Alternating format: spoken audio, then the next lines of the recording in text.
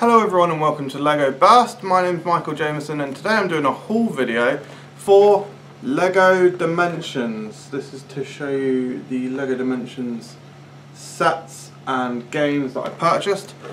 To start off with we have the starter pack. Ooh, nice.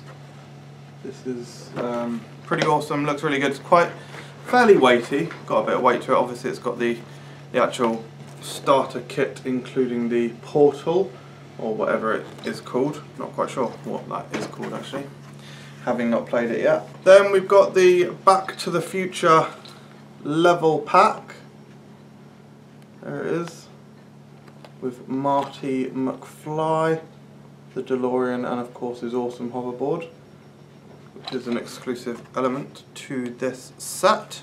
Next up we've got the Portal 2 game pack which again looks really awesome. Really love the packaging on these things. I think they look superb and yeah just a great design.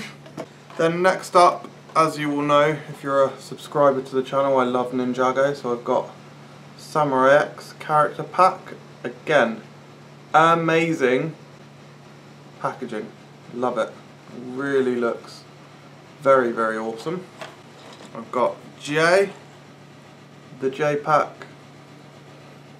with, is it, um, oh, it's like Spinjitzu or Zucchini, Zucchini J I think it is, or Jungle J, and his golden weapon vehicle.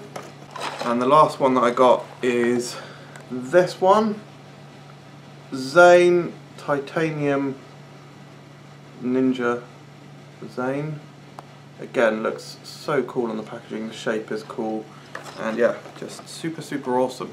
So there we have it guys, that is my LEGO Dimensions haul. Please let me know in the comments if you'd like to see me do an unboxing of any of these because I would be willing to do that.